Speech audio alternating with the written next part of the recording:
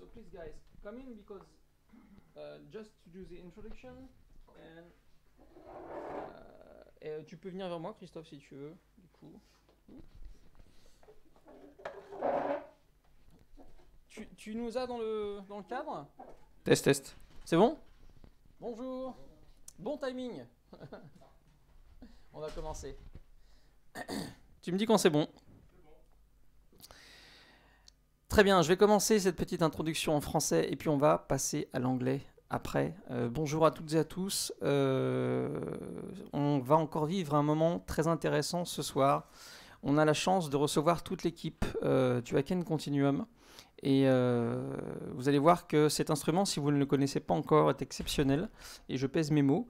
Et euh, ben non seulement ce soir vous allez l'entendre, mais en plus euh, on va vous raconter comment il a été fait. Enfin pas moi, l'équipe va vous raconter comment il a été fait. Donc j'espère que ça vous plaira. Et eh bien on est parti. si vous avez des questions, alors ça va être en anglais. Si vous avez des questions, si vous voulez qu'on traduise, n'hésitez pas à le demander, d'accord? Et on fera ça en direct. Okay, guys, thank you very much. Uh, you know what? I was uh, telling to myself that uh, we are very lucky to do this kind of job because uh, we uh, we we meet incredible people and uh, we play with incredible instruments. And I'm very happy, and we are very lucky to have you tonight. So thank you very much to to be there. Because I think the continuum is one of the most interesting instruments uh, to play uh, today. And um, we will try to, to understand why. Uh, because specifically with this instrument, I can we can use a lot of words to explain what it is, but it is the first time you is you will play with this, you will understand. You need to to take your hand. Uh, you need to play with this to understand what is really this instrument, what you can feel with it. But tonight, as you can't uh, use your hands, uh, we'll try to explain why it is cool. And at some points when you want to try this you can come to modular square because we are very lucky to have one. Thank you very much to to to um, to let us having one. So you can uh, at any time trying one here Okay, so before we will start, I will I would like to introduce the uh, the team. So first, Mr. Lippold, Robert Lippold. So you are the creator of uh, the Continuum Fingerboard. Uh, then uh, uh, we have some developers here. So Ed Eagan, um, uh, who have worked on the Eagan matrix, and Christophe Duquesne, which is also a sound designer and a programmer. So thank you very much.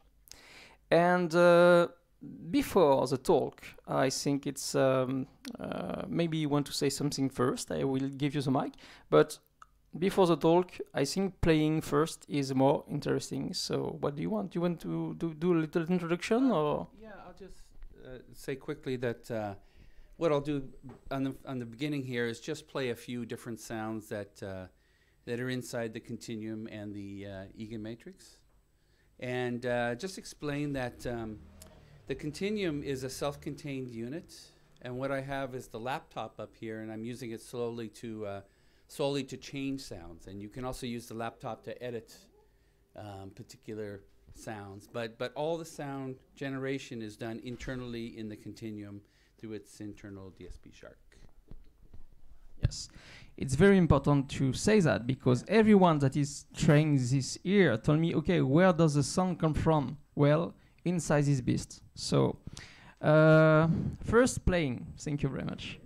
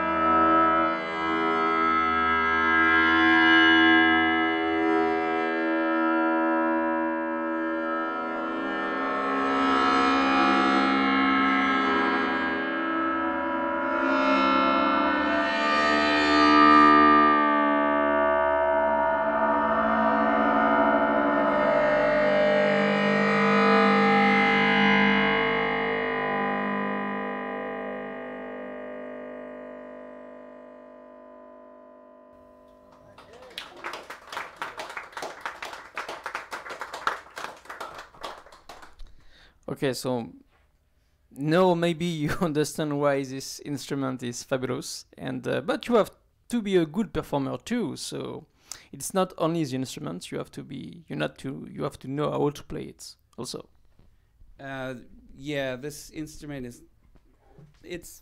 I think it's easy to play, because uh, I grew up playing oboe and piano, and uh, that that was torture. You know, I think the number of hours that I played there, but compared to the accessibility of the designs of synthesis, this was not made to be a thing to pick up because it's counterintuitive to say that something is can be expressive and easy because it's like you're it's like saying that you're the the the, exp- the expression in your soul is very surfacey, but in actual fact, it takes a long time to really dig into it and uh, figure those things out. So, like a regular instrument, it takes a while to play it. Yeah, yeah. But but it's something like this last one that I played. That anything that's more of a sound design type thing. I mean, it just takes a sensitivity to touch. If I want to do something pitch, sure, you know, you have to learn how to finger and play intervals, and there's no, you know, there's visual markings, but there's no physical markings, uh, bumps that are, you know, haptic markings to tell you what to do. So uh, things like that sound effects uh, thing you can play and just use your ear and respond to it. And that's one beauty of this instrument is that it is so uh, into, um tied into what your fingers are telling it to do that you can respond and shape the sound in real time. Uh, before going to a deep introduction, can you just explain what it is and why it is s- special? Um, well, why don't I pass over to Lippo? and He can, uh, yes, sure. since he has a special relationship with this thing. Yes, uh, so I, I've been uh, working on this instrument for 30 years, but I'm not a very good musician, so uh, it's good to know the talented people. Um, but the, uh, the idea of the instrument is that uh, in this direction, which you usually for, use for pitch, it's very accurate to about 30 microns, which seems funny since you have a fat finger. Uh, you know, how, how can it matter with 30 microns? But if you think about it like on a violin or something, uh, I, I grew up playing violin when you roll your fingers and you listen to the beats melt away, the center of gravity of your finger, that, that really is to 30 microns. You can do the math and figure that out. So, this uh, surface, when I was working on it uh, since the uh, early 1980s, I knew I needed that kind of accuracy.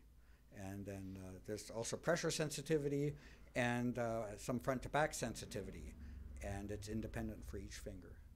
Um, so it has to be very accurate in uh, value, especially in pitch, because the human ear is so sensitive to that. But and it also has to be uh, timing accurate, and that's where it really differs from uh, keyboard instruments, because uh, here the idea is that you're in a timbre feedback loop. If you think of say a theremin or something, uh, the reason a theremin is in tune is because you're part of the feedback loop and you adjust.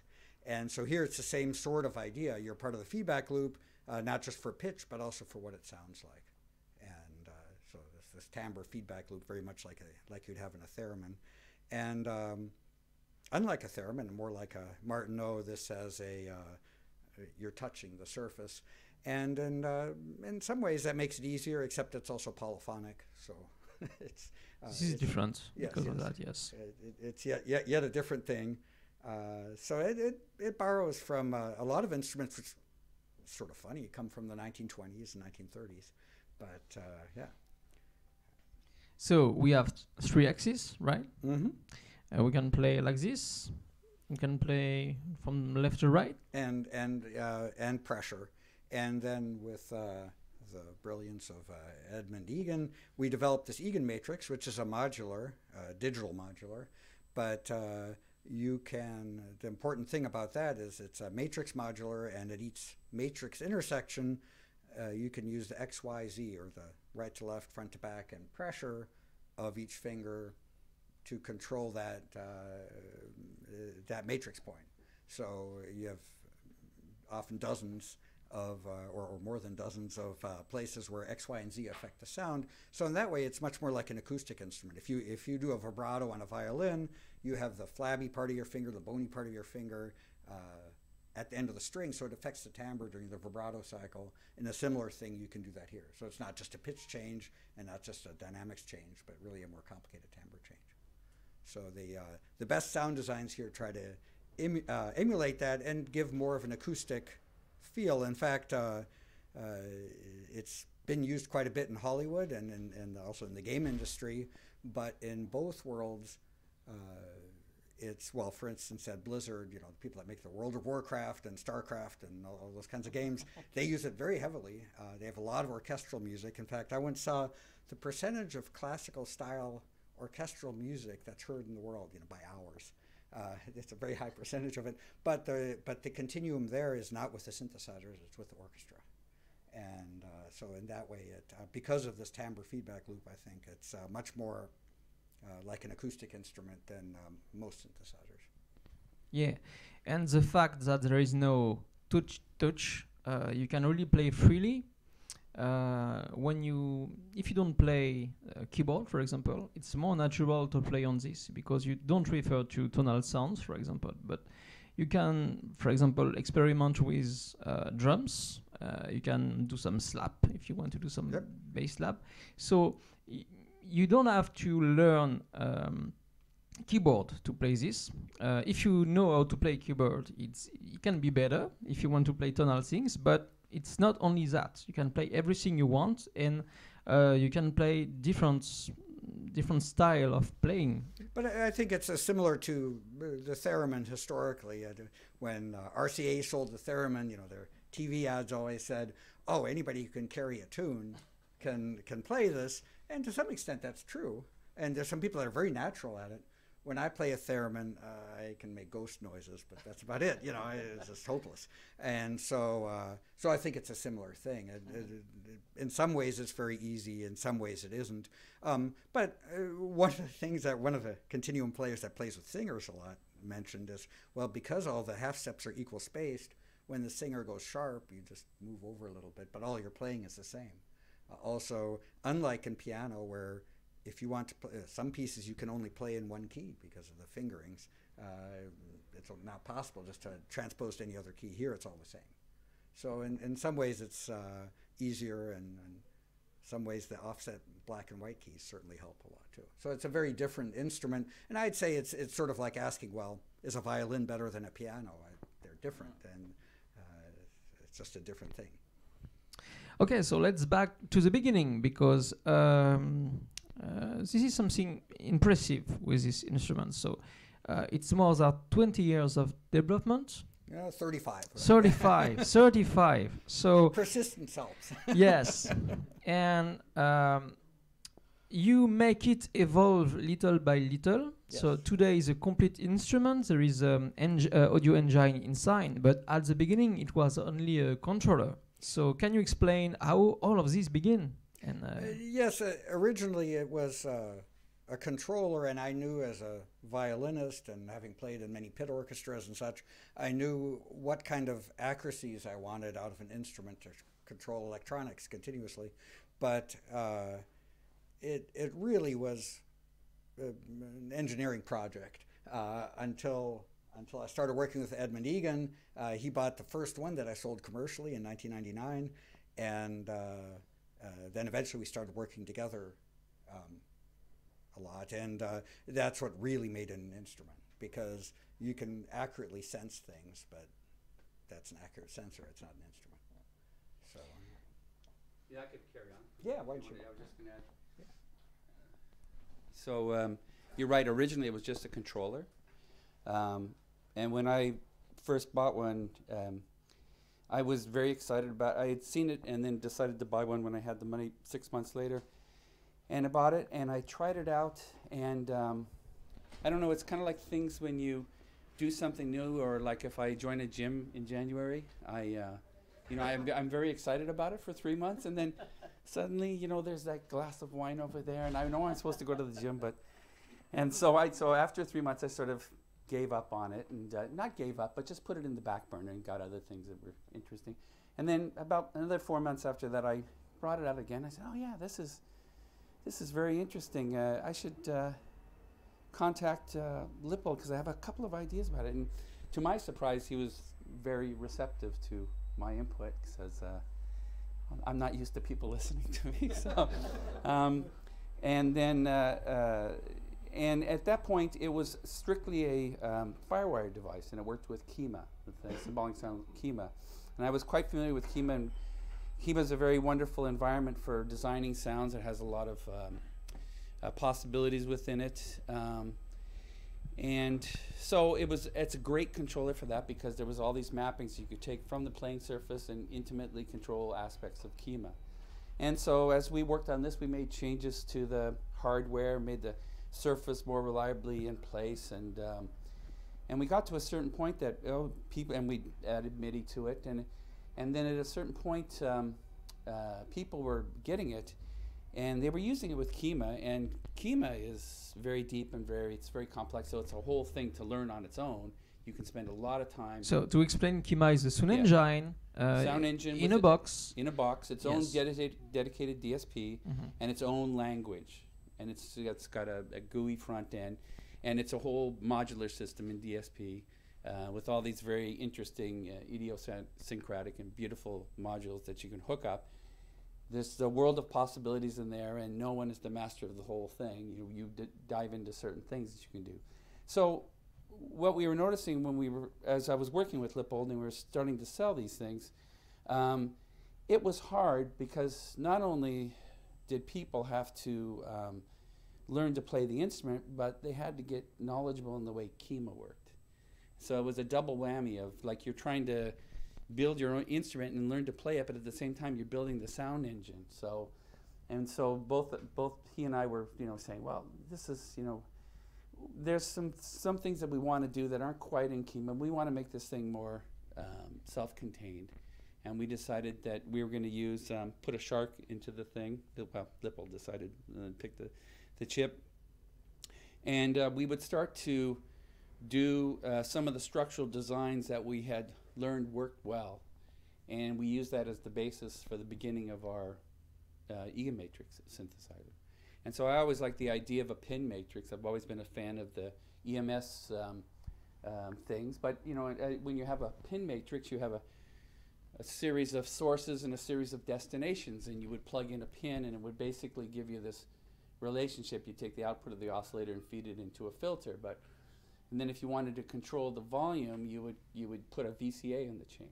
Well, what we decided in our pin matrix is that at every single point in the matrix, you could take a mathematical expression and place that um, expression, which is the relationship of where your finger is in the, which typically the pitch direction in the X, where it is in the Y direction, and where it is in the Z direction, and also with some other um, uh, constant or uh, variable uh, automating uh, type of things like that we call phase generators, that you can you can take that whole relationship and put that in a mathematical formula at a particular pinpoint. So on a very simple level, if you take an oscillator and you feed it into a filter, you don't need a VCA because at that pinpoint you would take, okay, I'll use my Z pressure to create that. So that was kind of the basis of the starting of where the sound engine came from. From the knowledge that I'd gained working inside Kyma, figuring out what worked well with the continuum, and then us deciding we wanted to do our own special engine within there. Yes, and as you say, it's very powerful and also very natural because the connection is not only a point. Uh, there, if you want to make a connection, take cables you plug inside. But there, you can just say, okay, I want to add X. So uh, the X-axis, uh, the X-axis is doing its job, and you don't.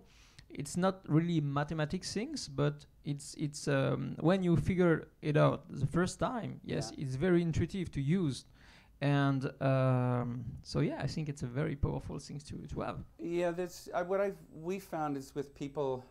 Well, here's the the nice thing about it. It's like so we spent a lot of time designing sounds, and we tried to do certain things that essentially you could customize the sound to a certain extent on the surface. So we have barrel controls that sort of these meta controls that can you can change certain parameters that we've grouped together. And a lot of our users don't even dive into the engine because there is The, the patch are too good. uh, yeah well yes. but also the, the, that's part of it but, but typically if you know someone buys a, a you know subsequent 37 or you know a lot of people they experiment a little bit but or maybe not so much but maybe in a Roland product or a Yamaha product they don't really change the patches very much you know they they will do the performance controls but anyone who wants to really experiment they maybe get into this kind of world yeah but the and also the patches what you find is that um, they can sound different depending on who's playing it, just like a gu- guitar can sound differently. And so, and you play a particular patch in a different style because it's been designed to be played in a in a different style. And so, and I found when I've gone back to earlier patches I've done, I've been confused. I thought, well, what was I thinking of? This thing, this thing sucks. it's really. But then I realized, oh yeah, I do this. I, I play in a particular way, and you know, and so you um, uh, you adapt those sounds to those particular thing, and people find those and th- don't change them very much. And the math is intimidating to some people. Yes, at the Yeah. beginning, but Yeah. uh, as soon as someone explains to you how it works, Yeah. it, it's clearer. Uh, uh, yes, the first time it's a little bit complex. If you if it's the first time, if you haven't used any modular synthesizer before, it could be difficult. But when someone show you how it works, it's really easy. Mhm. The fact is, um, I think first the, the first thing you want to do with it is to play with it, to learn to play with it. It could take time to do that. Yeah. I think you begin to dig in uh, the system as soon as you are begin to be cool with uh, as as playing and I was exploring the, all the patches you have made inside. They're amazing, and you start with a patch, and 30 minutes later, you are al- always playing with it. So I think people, I think people will need more time to to learn to play. Then maybe in a second phase, they will try to make their own sound. But at the first time, this is so fun to use, and you can already make tracks um, from the beginning. You just play the patch, and you are uh, you can making tracks uh, all over the world if you want. It's um, it's really amazing. I think you need time to to experiment this first. Then you will need to create your own sound.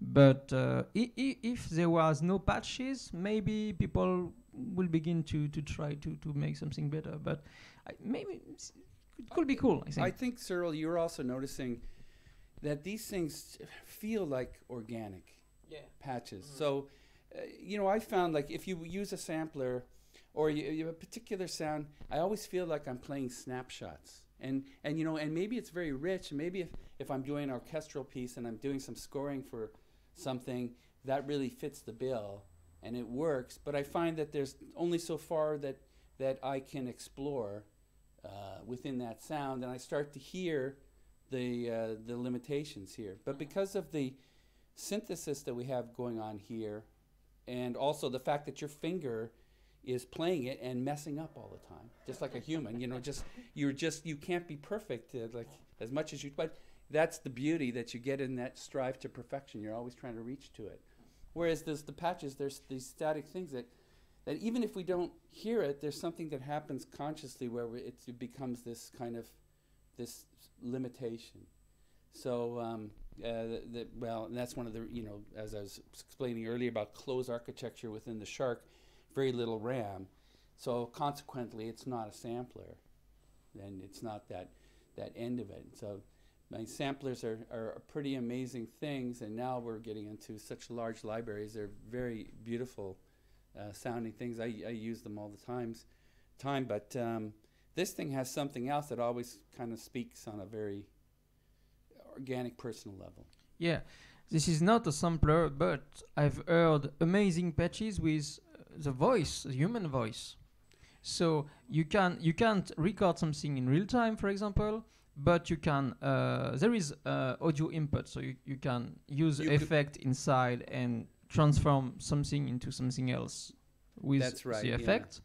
But maybe you can analyze uh, uh, uh, recorded samples and play with it later. There is some some voice patch already that you can. There is. Um, oh yeah, there's um, yeah, you can scrub into a, a complete phrases, and it's amazing when you start to do that. You don't want to stop, actually. yeah, this. Uh, You ever have a, I'll just play it here. you ever have a feeling that you wanted to go and still have a feeling that you wanted to stay? And you can go. You ever have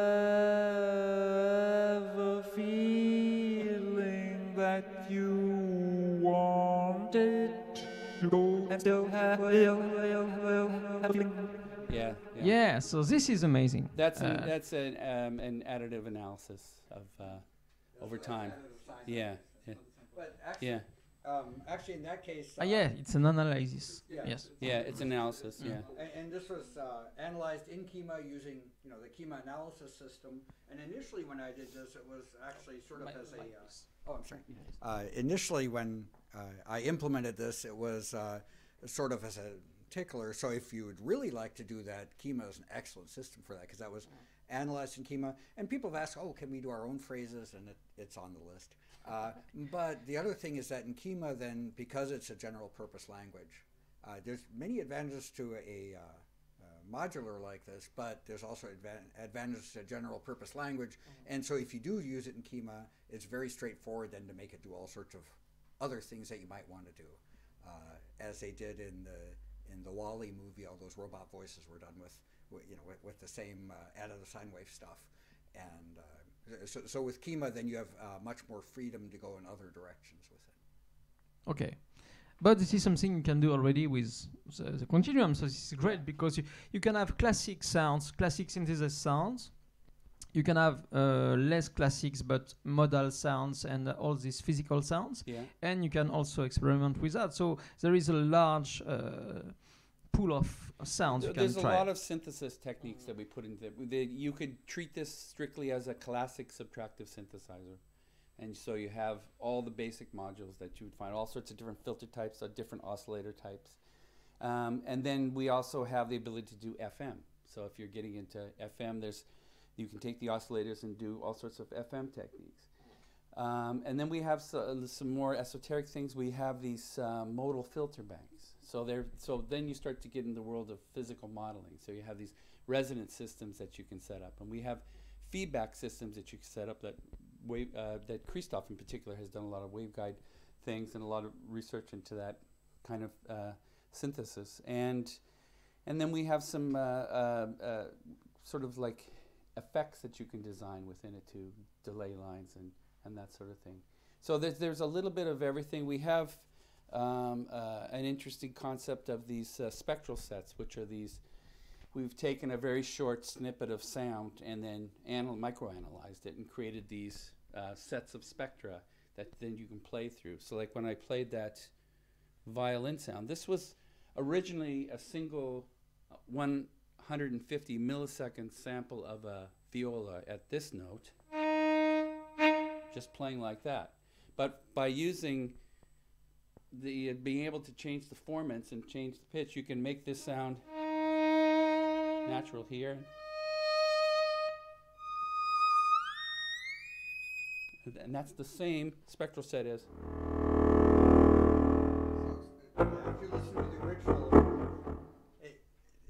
if you listen to the original uh, Yeah. material there, it's the first 150 milliseconds of a single note, and that's just sort of raw material. It's uh, actually 12 different spectra uh, uh, as raw material, and those are manipulated then. So it, it's definitely not sampling, but it does have its origin in some recorded sound. It's like wavetable, right?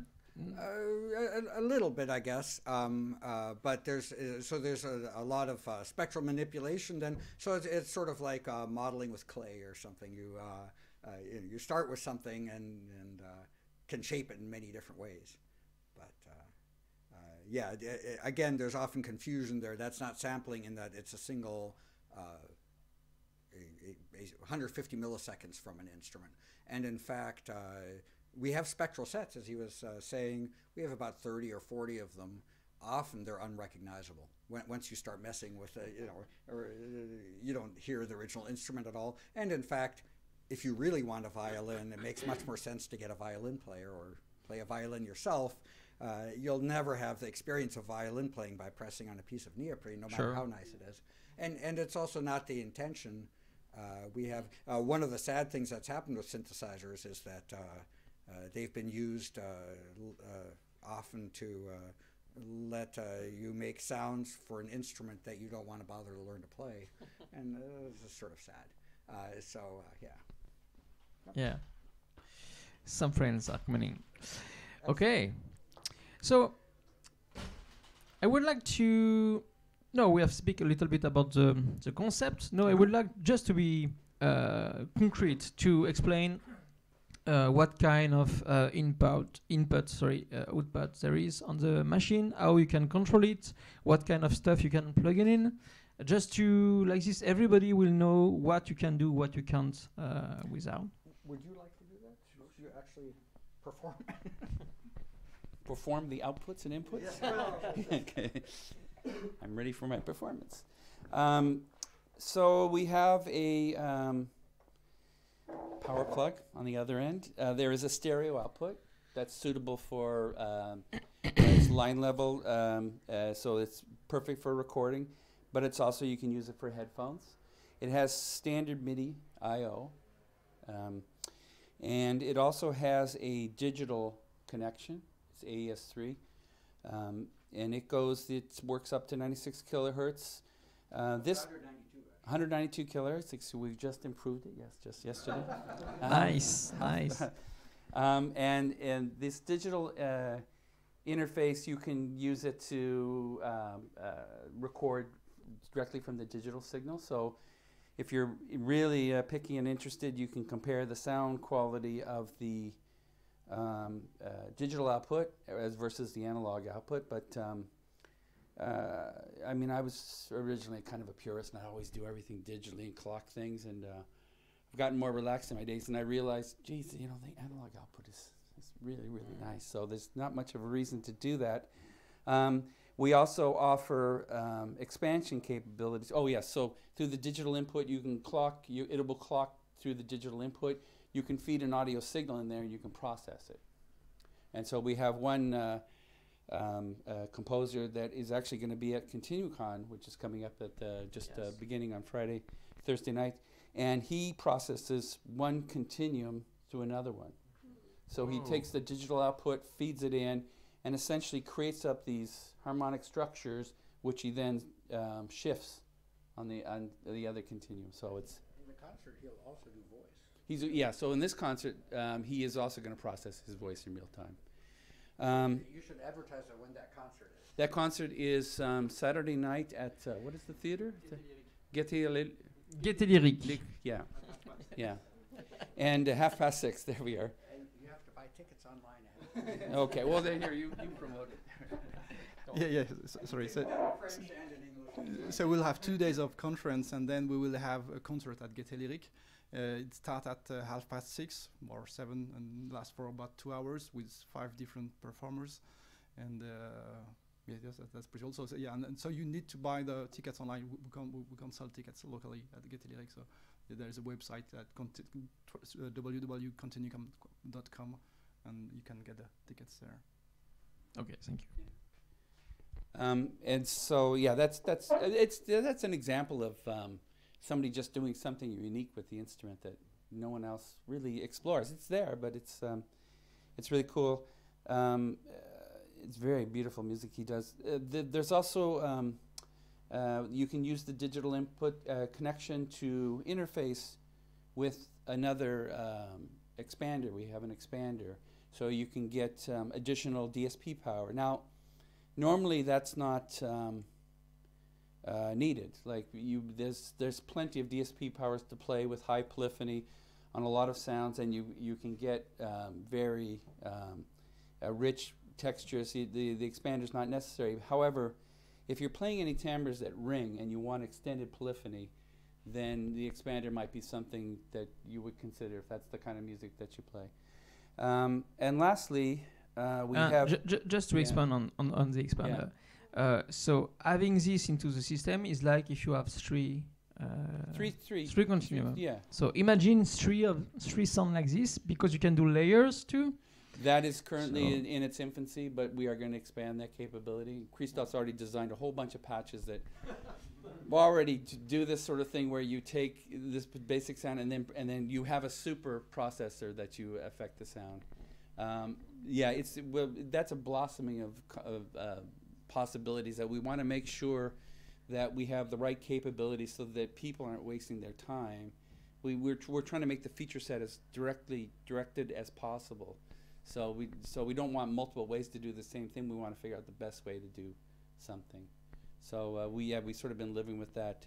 Um, it, it just you know if you have an eight voice th- uh, um, sound in here, now you have a 24 voice, or if you have a nine voice, it's now 27, Mm.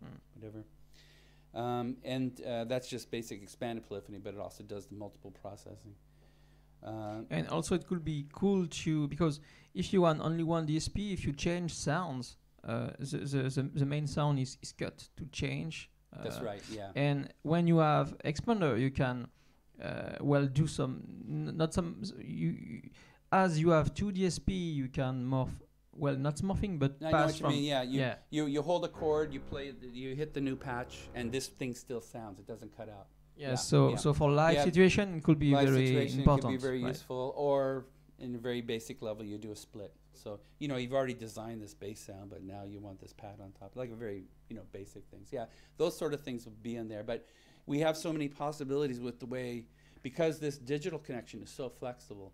There's so many different ways that we could set it up. There's just ways that uh, you just really wouldn't want to use. Like so, I mean, you, you have to think about the arc this architecture in that you have a polyphonic performance, but then it gets summed into a single DSP as an output. How does it relate to another one that you're feeding an input to, but you have another polyphonic uh, performance? So sometimes that could be an interesting world to explore, but sometimes it could just be a complete waste of time. So that's our job to save you from wasting time. Thank you very much. Oh, wait, we didn't last two inputs. There's two pedal inputs. Yes. So w- one of the uh, common things to do in uh, uh, in synthesizers is to layer sounds, and that can be useful here, but it's much less important here than it would be in, other systems because so much of this depends on what you're doing with your fingers, and most of the interest of this instrument really comes from how do you map finger motions to the sound. Uh, making a thicker sound often really doesn't help that problem, and so. Uh, so it just ends up being a less important thing. Similarly, with polyphony, most people can play what two or three fingers maybe accurately on the surface. So except for the situation where you have uh, the decay of a sound last a long time, it's actually rare to need the higher polyphony. Uh, so the the basic unit uh, does a lot of these things, and even a split is in. Uh, i- i- if you listen, uh, pick your favorite acoustic instrument. If you if you like uh, oboe or you like uh, violin or something, the fact that it's one instrument playing the whole time is okay. Uh, you're really listening for something else. So most people that go this route will really be getting the continuum for that. Um, so the, the, all of those other things are, are very uh, useful, but uh, not as essential here as they are in, in, in other systems, I think. And, and so that's that's one of the reasons why we don't advertise it that much. It's true you can layer, it's true you can uh, uh, post process, you can do all these things, but uh, in practice, uh, if, if you have performance like Ed does, just practicing the, the small finger motions is very important. I think it's uh, similar in a, in a violin or something. You know, you might spend some time trying to pick the rosin you like or getting a bow you really like, but in the end, most of your time is spent practicing. And most of your sound comes from not from what bow you're using or what violin you're playing, but uh, you know, a great violinist can still take that hundred dollar violin from China and make it sound pretty darn good. So uh, uh, yes, it's that sort of situation. Okay. There is also two size actually because there is only two models. It's, it's been you work on this uh, since uh, 37 years, but there is two models to, cho- to, to to choose from, and I think it's cool because you don't have to scratch your head. What what what do I need? You just have to say, do I need the small one or the big one? We all want the big one, but it's not always possible. But um, so the there is two size. The the half size, which is well, the It's half the size. yes, yeah, Yeah, well, so it's there's four PCBs in here, and uh, then uh, uh, PCBs for the sensor boards. And so if you imagine you only have two, that's what's in a half size. It is exactly half size. Well, the middle um, half, but the engine is exactly the same. So anything designed for a half size is completely compatible with a full size. They both have exactly the same power. They both work with with the digital signals and they work with MIDI in exactly the same way. yes. And when you play first with a, a full size, and when you play with a half, si- half size, first you miss um, a way to play bass and uh, uh, well um, because it's very interesting to have Yeah. the bass and the comment on dit aigu déjà en anglais j'ai oublié trebles Treble, oh, yeah trebles at the same time thank you Yeah. but um, uh, you can use a, a, a- pedal that is uh, with three uh, three switch pedals that uh, on the half size like this you can go to bass from trebles with uh, the foot so this is cool because you can um, keep this impression to play bass and treble at the same time but with a pedal so Yes, and even if you, when you switch, let's suppose you play a note you're, and you've, you've transposed it up quite high and you're playing a very high note, like if this note, let's say, but it's on your half size, if you switch it down, it's not going to switch. Then you're then if you play here, it's going to be much bigger difference. So it makes it kind of seamless that you can switch the area as you're playing and not have these notes jump. yeah so this is a Yeah. cool things to add Yeah, and it doesn't require any sort of. There's we have built-in octave switching in the editor, so you can design a patch and then say, okay, well at a particular point, instead of using my sustain pedal for sustain, it's going to it's now my octave transpose or three octave transpose switch. you- oh, you could like to uh, Christophe's tin whistle, right? That's always high, no matter where you play it. Of course, he has a half size. And uh, well, yeah, like you can have sounds that naturally.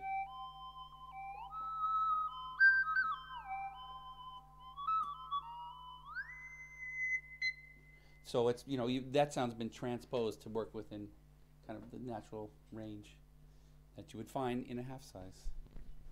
Okay. Um, maybe we can talk with your work, the EaganMatrix, right now, Okay. because we.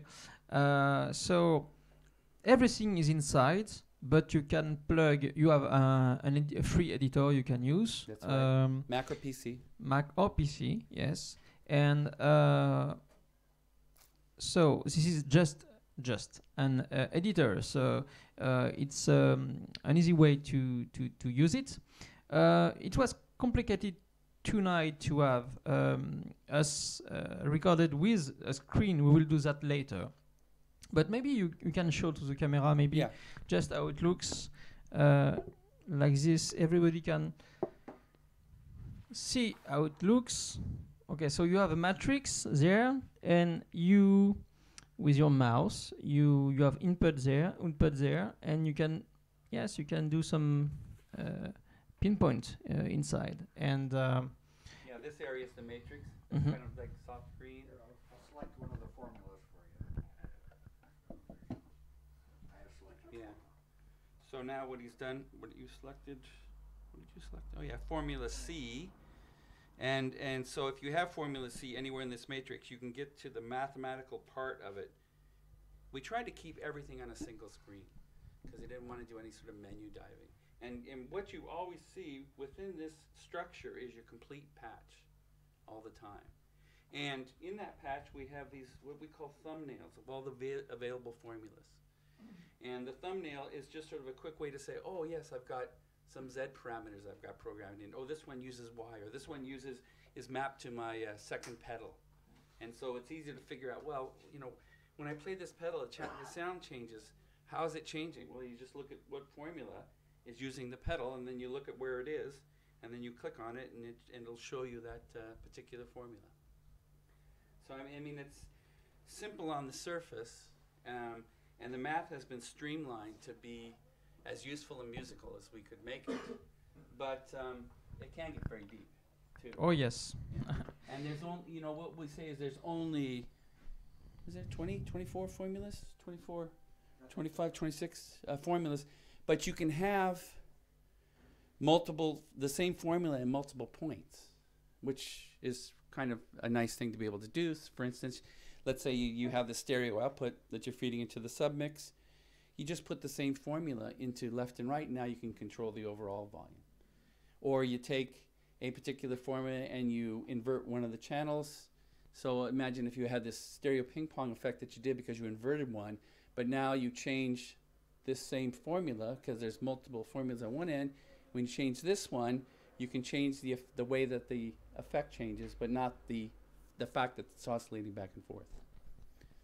So there, there's a lot of capabilities in there, um, and what we've tried to do is just eliminate the um, useless ends. Uh, you know, there's so much math that could be applied, but some things maybe are theoretically interesting, but not really, really, you know, what we find sort of interesting. It's dangerous too. You have a matrix where it's everything's open, but it's like if you put your fingers in a plug, it's dangerous.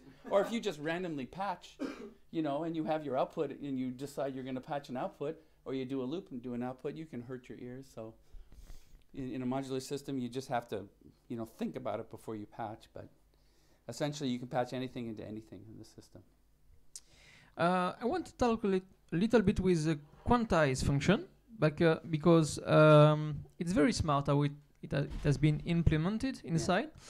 Um, as we we have seen before, you can play freely. It's uh, at the beginning it's a little bit hard to play um, if you haven't played it for the first time, but you can use quantize, and there is um, uh, you can morph from uh, no quantize to 100% quantize and with with only a button so this is cool because you can just select the level where you are uh, so can you show us how it, it does to the sound when you are full quantized Sure. So I have a single oscillator here. Okay, unquantized. Here's 100% quantized.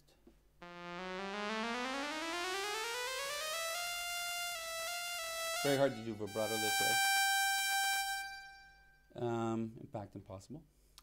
Uh, unless you were into semitone vibrato. And then you, and so that's a, um, um, uh, that's you know we're using uh, 7-bit MIDI data value, so that's 127 of the quantizing. But then what you can do is um, uh, you can you can specify an amount of quantize. So imagine it's like you're coming home from the bar. It's three o'clock in the morning. You really shouldn't have had that last schnapps, and you know you're walking down the street, and there's someone pulling you into the middle of the sidewalk all the time. Well, that's what quantize is doing. It's always pull you right into the pitch center. So when you're over here, it uh, fixes you up. So, so now I can play.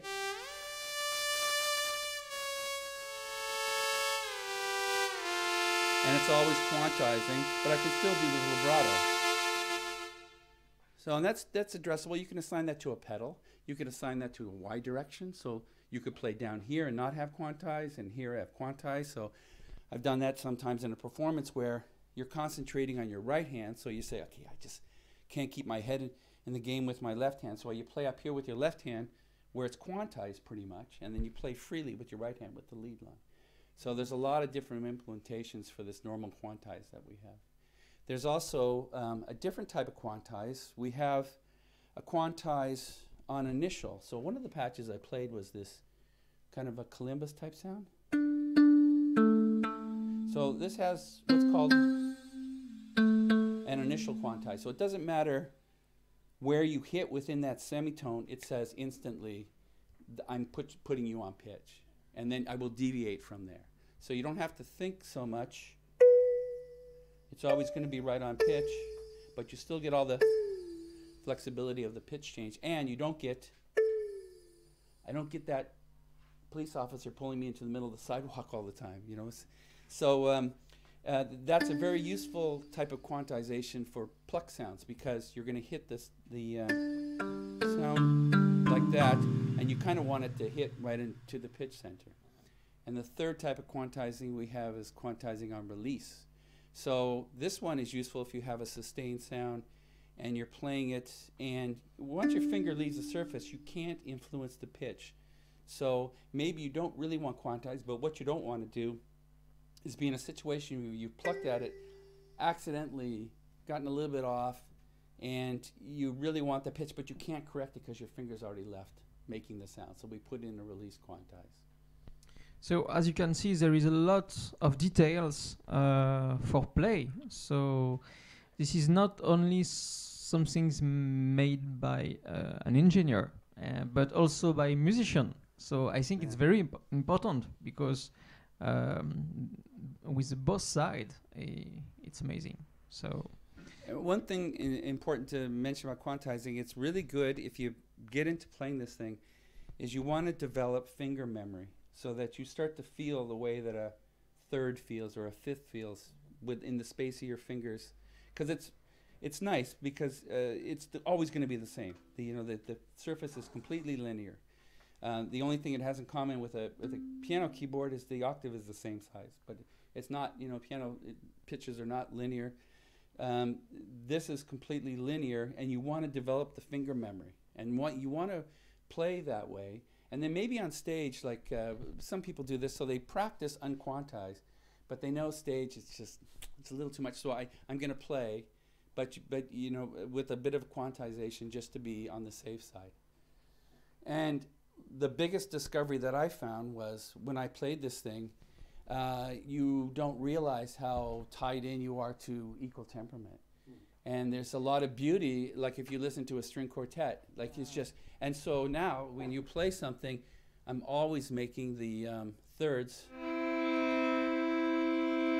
just a little bit flat, flat the major, more pleasing to the ear, and you do it naturally. You know, you won't, you won't catch yourself doing it. If you listen to a good string quartet they're always adjusting, always doing something harmonically related. So it brings you back in, in tune with what, you know, having ears and, and being part of the harmonic series that human beings are. Yeah, yeah. At some point, it's it's a way to to free musician to to uh, to cliche because yeah. uh, this is funny because even beginners that try it for the first time, they tend to do Indian Indian music because you can do some some things like this, and everybody is doing that at some point because uh, it feels so natural that Mhm. Uh, s- s- at s- you, you begin to play another music that you don't play every day. But the instrument uh, put you on your hands the power to do this. So uh, with your ears, you correct yourself, and you begin to to to have interest into other music too. So Yeah. this is not so classic. Well, and you learn playing techniques as you're doing this. You learn, you know, like vibrato is not just a pitch wheel, and it's you you know there's there's timbre and volume and all sorts of change, speed changes and changes as you go that way, and you can play just from using pressure. You can play melodies just with a single finger.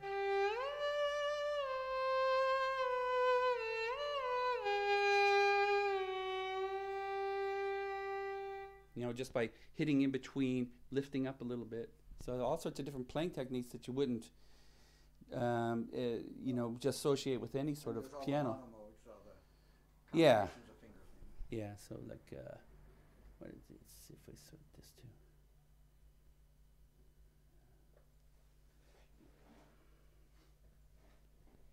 So here this. So with this sound, what it's doing when you have only a single voice allocated and you play two places on the surface, what it's going to do is you can imagine between your two fingers, your two fingers, it's like this big seesaw. And so as you press it, there's a ball that's going to roll from one finger to the other. So you can have you can play a game with yourself. It's impossible to play a melody this way, but you can. I'll show you. So I'm going to play Okay. a no, low note and then touch on softly, and I'm going to try to change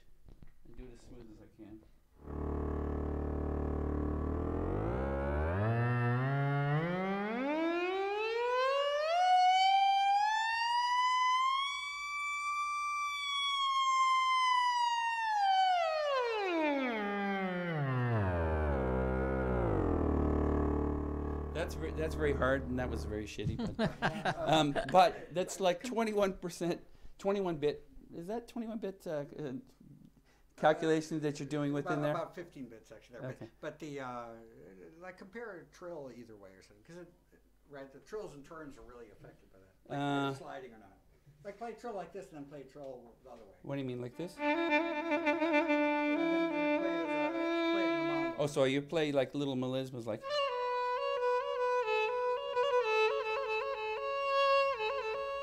So it's going back and forth. But if I was to play that just where it normally is, you don't get the slide in between the, the fingers. And so that's a useful playing technique. Um, so normally when you play in semitones, it's going to slide because the notes are so close. But we've set up this window where you can say, okay, I like that effect, but if I play anything within an interval, let's say like a major third, it's going to do that effect. But if I play larger, it knows it's two separate notes. And that this is programmable for every single preset. So for instance, here now I've turned it on. So if I play a minor third,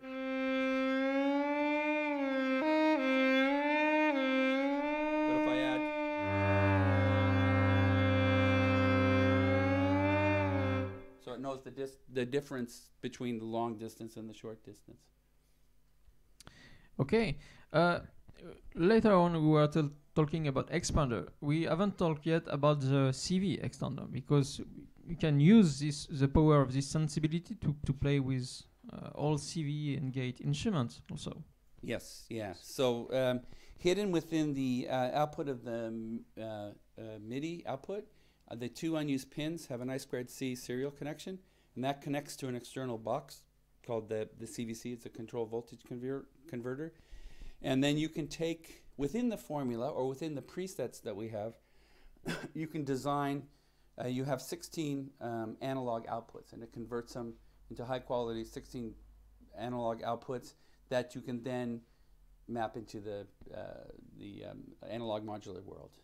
And we have presets for sort of Moog ranges or like Buchla ranges, and um, but it's completely customizable, and you can take any of the pin power that you have within those formulas and use them the same way. So, for instance, if you just had a single input to a VCA, a, a cutoff point, and you wanted to control that uh, uh, within, you only have one input. Within that single output of the 16, you could map that, put that into your VCF, and that in the matrix you could assign, say, you know, typically I want the filter to get brighter as I go up, and as I play harder, it's going to go up. Uh, it's going to it's going to go even further up, so we get that brightness effect. Uh, and as I go back left and right, it's going to go down or up uh, proportionately. And also, if I go way up here, it's going to introduce an LFO or like a phase generator effect. So you can take this one output and combine a combination of control values all from one finger and control that particular parameter. So I can get really deep really quickly. Yeah. But it's a t- it's a tricky thing to you know to map into because it's inherently polyphonic. You know, it wants to be polyphonic, and of course, you know, most modular systems you either do you set it up as a big monophonic force that's going, or you set up subsystems that go, some automata and some things that you play live. So it's you know it's a varying degrees that you'll get with it. But something like what Dieter Doepfer did, um, you know, announced with that four voice Yeah. I think that's exactly the kind of thing that you can map into this really easily. But if you're more experimental too, it does all sorts of wonderful things. Like the voice, the voice example you showed before was a two-handed thing, where you're controlling a single note with two hands. You can also do that in the module uh, for the modular. That's right. Yeah, you could do that sort of thing. So like, yeah, if I play that voice, if you look at my left, anything that I play on the top part of the um, surface, I'm controlling the formant, and anything that I'm doing on the bottom is the pitch. So I'll just play something again. Okay. So it doesn't sound here until I give it a formant.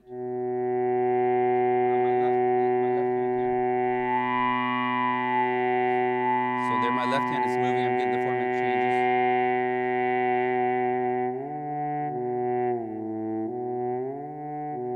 But I can instantly change, and now here's pitch or formant.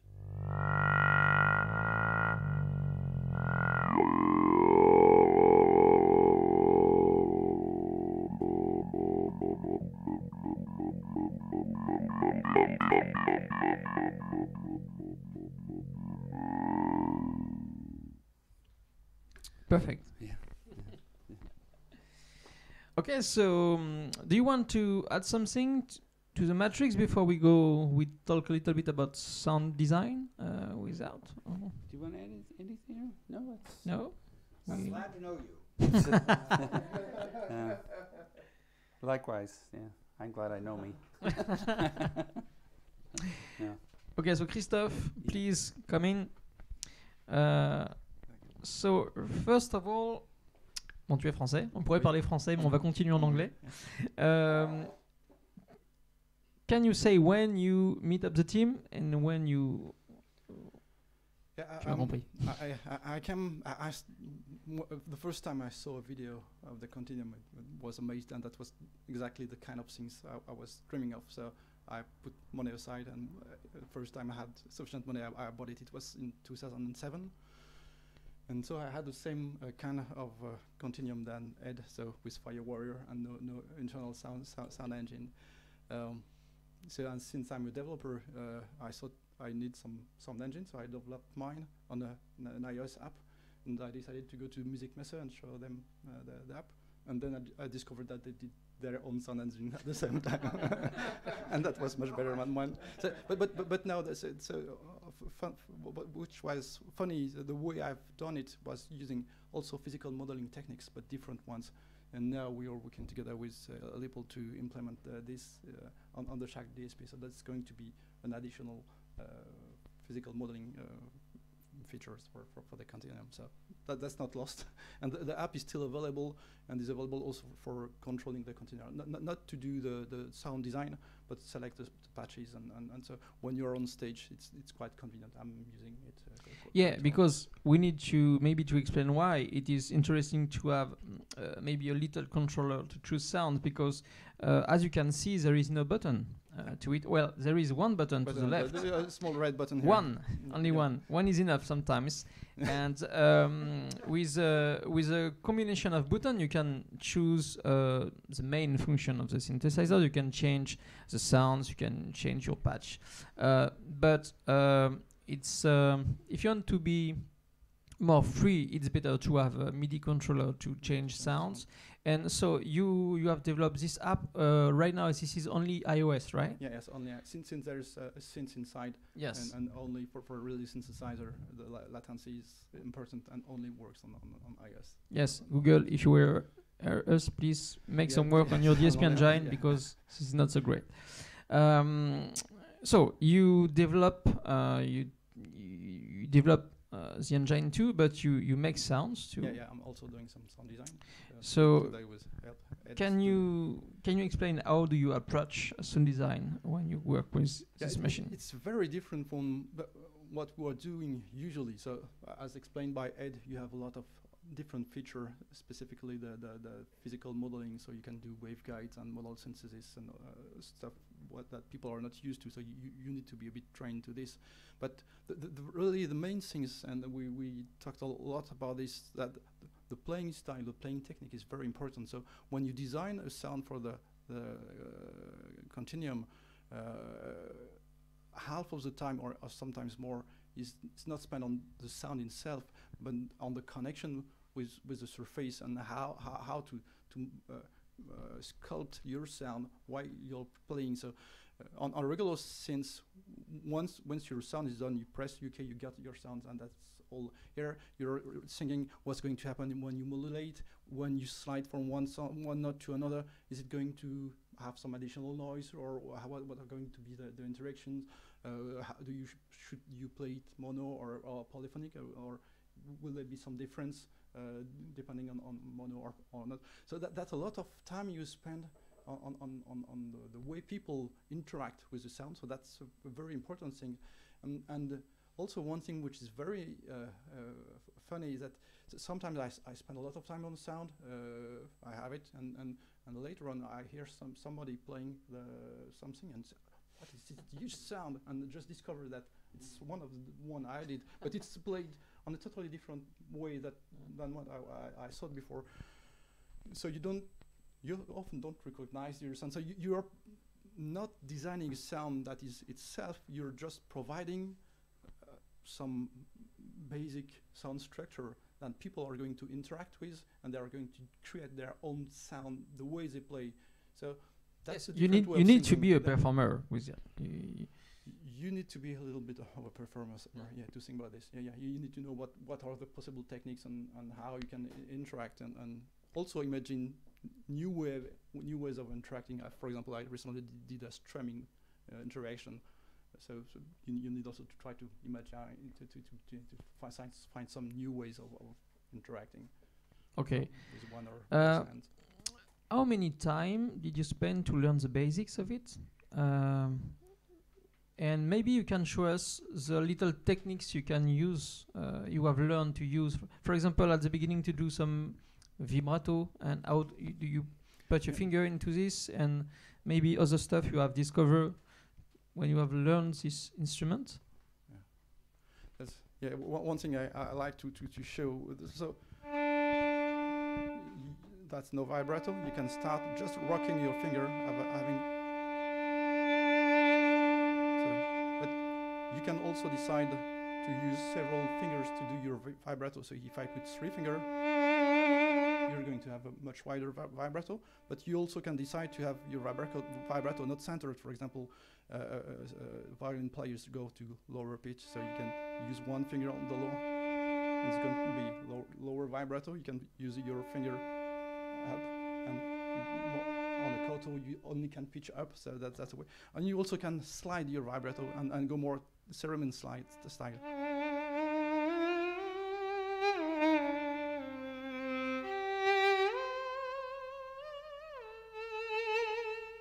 So only the vibrato you can do several ways, several manner of having your vibrato, and, and then you also have the tremolo, and you, you can combine vibrato uh, and, and tremolo together while, while mm-hmm. playing. So you need to think about all, all these small small things and, and, and, and, design your sound so it's going to manage all, all these small small details. And if I take, uh, you can have also some.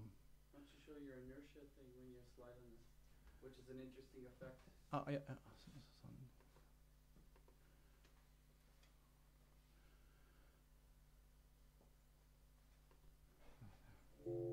So this is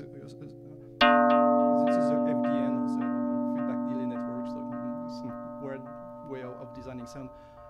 But also, when I Oh, yeah. to the surface, there is a Mm. specific. So this is not acting on, on the pitch, but you're just scratch, scratching the same note. Which patch is it?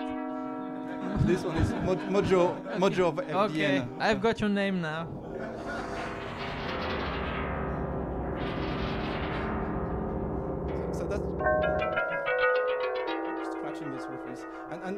That's funny because there, there's nothing really scratching, but when you do it, it's very natural.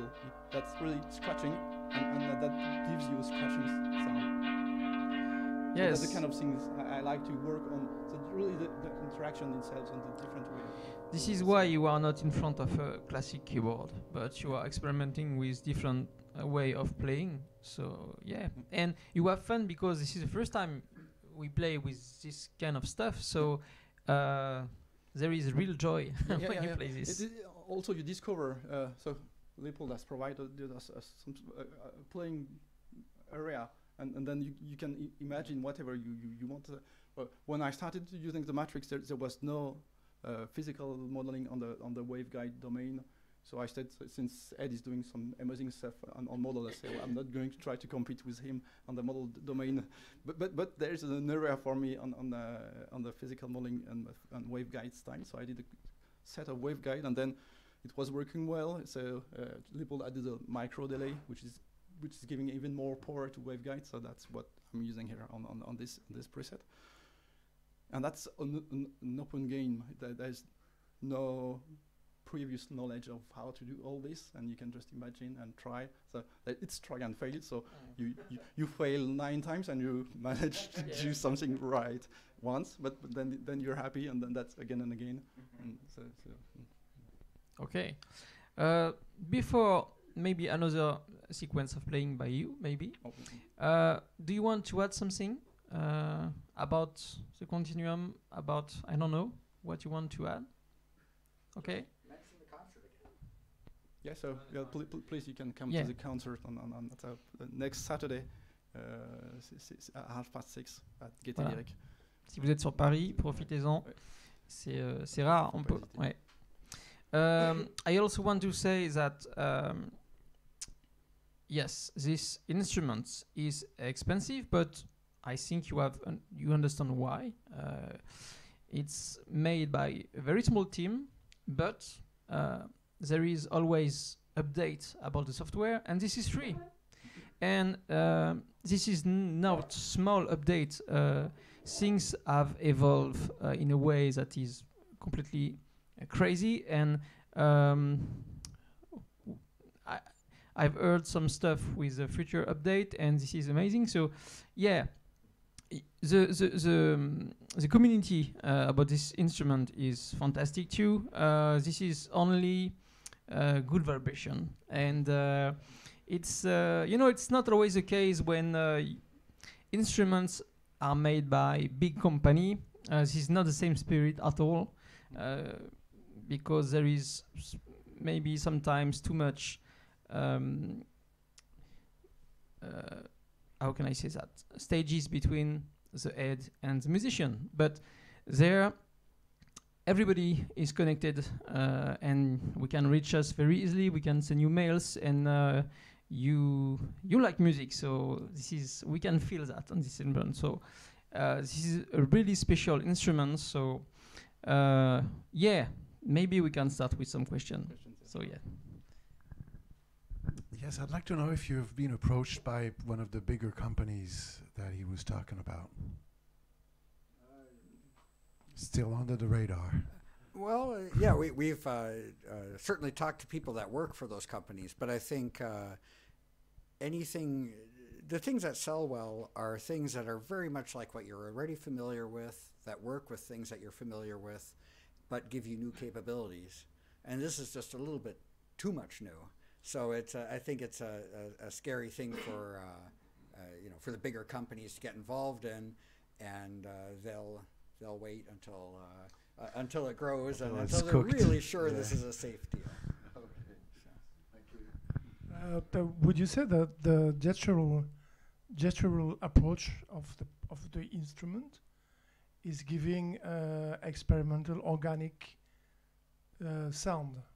Is it is it is it was it your main goal when developing the instrument? Yeah, it was. Uh, I wanted to make. So, I mean, in, when I started, actually, there was a lot more continuous control. There were, you know, the CS80 and these sorts of things that were that were. Uh, uh, at least had ribbons and such, and polyphonic aftertouch was more common. At least once MIDI came out, and that sort of thing. Uh, there was, uh, you know, interest in more of that, but there's actually less and less of that, and it got to be uh, more and more sophisticated.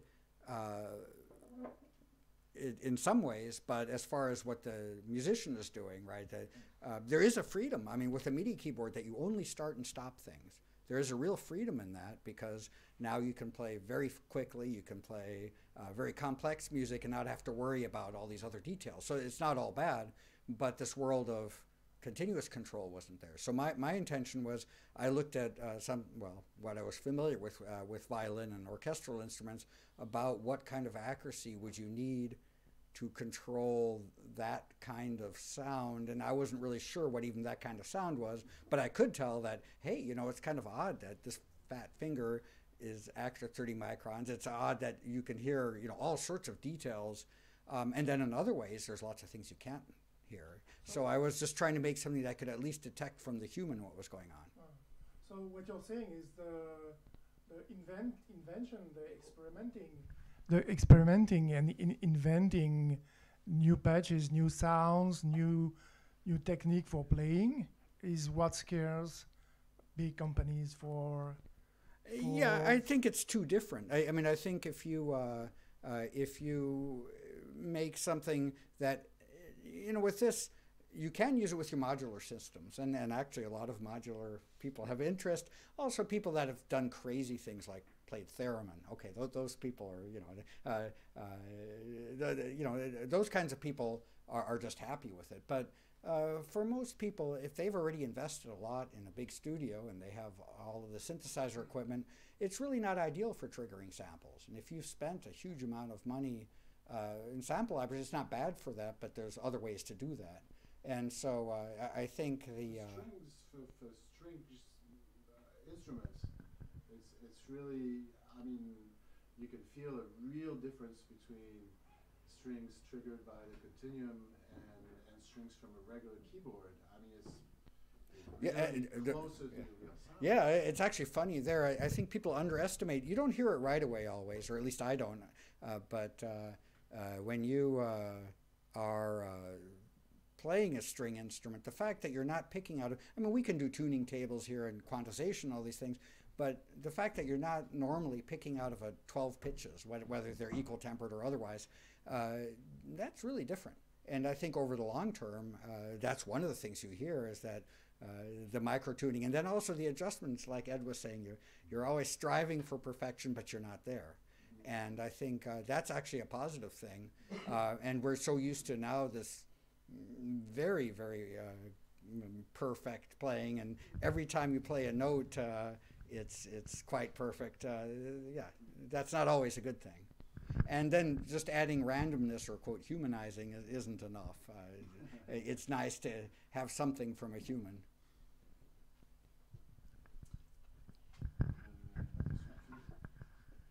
Yeah, thank you for the demo, it was very nice.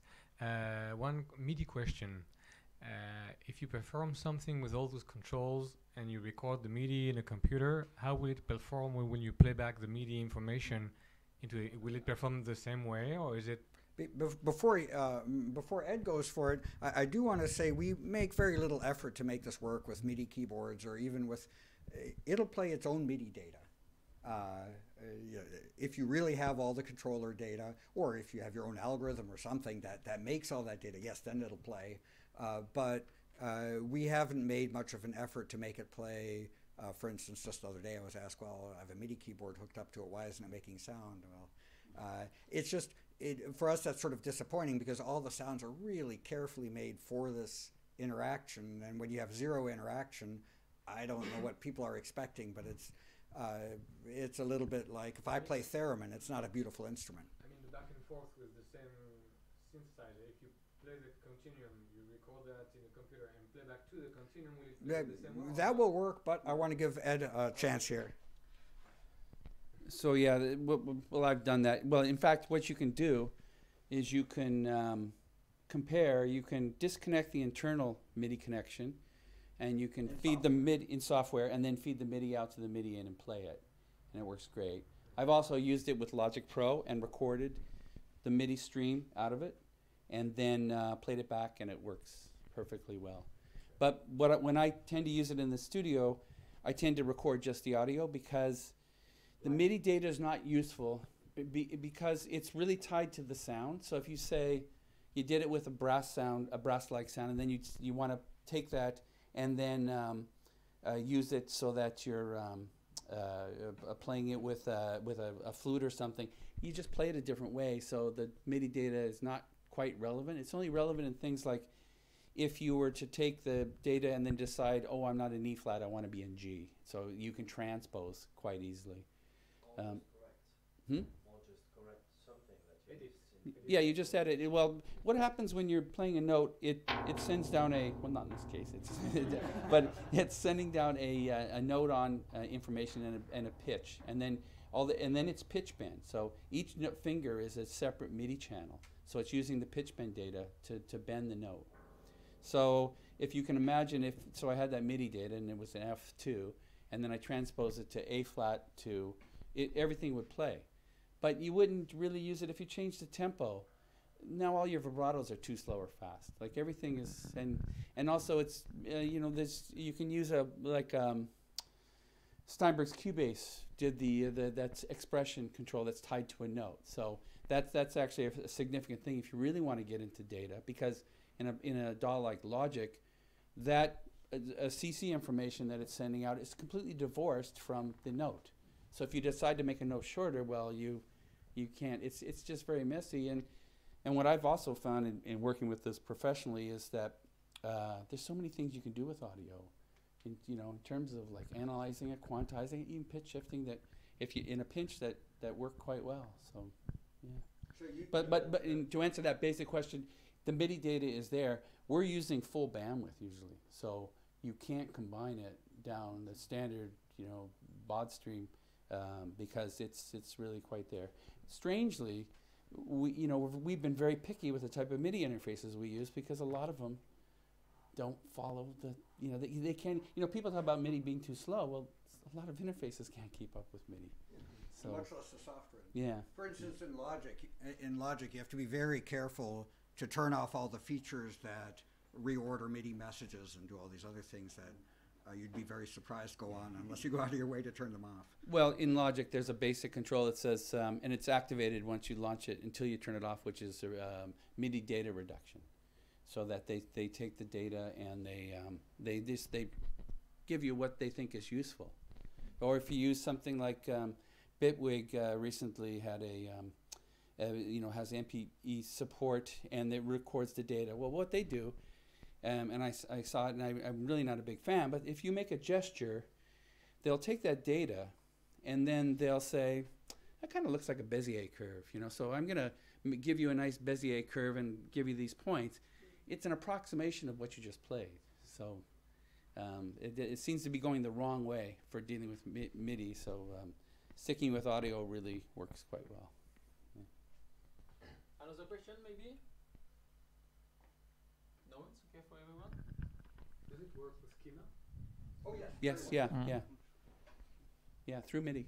And uh, there's there's a specific mode dedicated to Kyma still available, even if there is no more FireWire interface. Okay, so thank you very much. I think, please come. I think they can have some applause for all of that. No.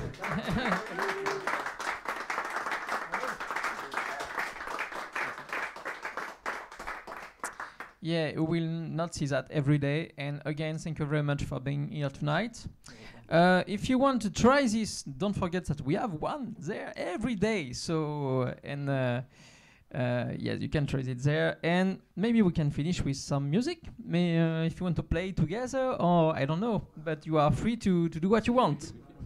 Do you want to play a violin part Together, yeah, we can Want have- Lippold to play? No, no,